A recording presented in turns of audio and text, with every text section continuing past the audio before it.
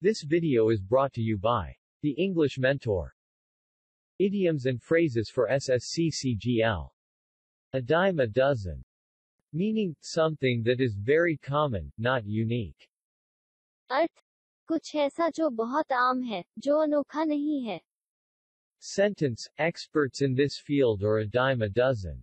Video को like और channel को सब्सक्राइब करना ना भूले और देखते रहे द इंग्लिश मेंटर